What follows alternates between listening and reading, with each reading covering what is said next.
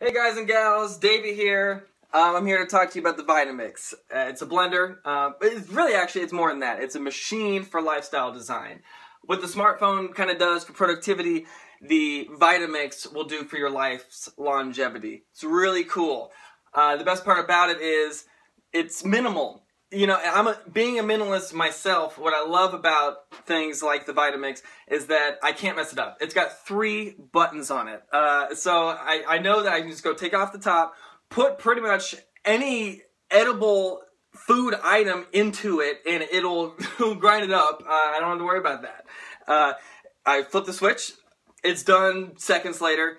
I go ahead, pour into a glass. I can do this three times a day, and it's the best. Uh, I'm, a, I'm a guy that's always on the go. I don't have time to be a chef. I don't want to be a chef. I'm a full-time life enthusiast, not even a part-time chef whatsoever, all right? so that's why the Vitamix is awesome.